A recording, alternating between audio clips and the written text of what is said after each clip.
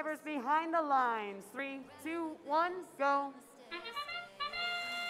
Here we go, folks. This is qualifying match number 41. The autonomous period currently underway.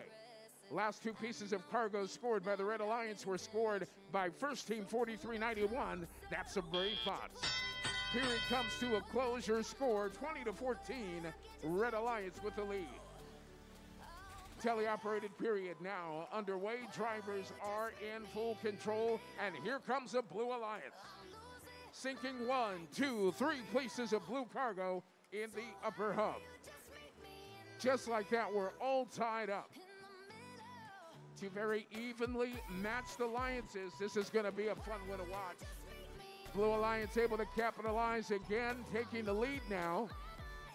And the Red Alliance, just like that, comes storming back.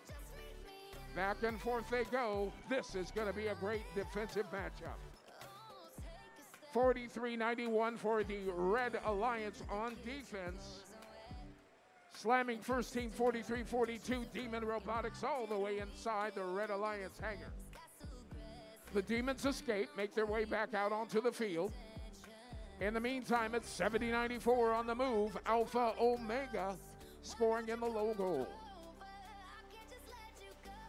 Coming up on the minute mark.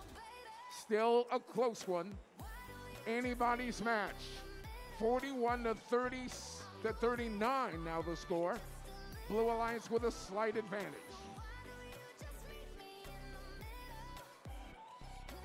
Cybercats toss one in from the near side of the field, scoring blue cargo in the upper hub. Red Alliance teams now thinking about their end game, getting an early start, 68-44 already climbing. That's some prototypes.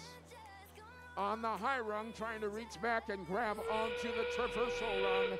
They've got it as we begin the end game. Final 30 seconds.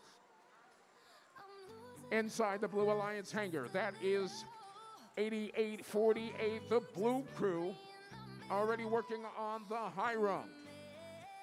In the meantime, for the Red Alliance, they have a robot on the high rung, reaching back, trying to grab onto the traversal rung. And they've got it, Red Alliance with a double traversal climb. Time has expired. Closing, and the winner is the Red Alliance. Red Alliance squeaks this one out by one point, coming on strong in the final 30 seconds. Two of the robots able to successfully climb up to the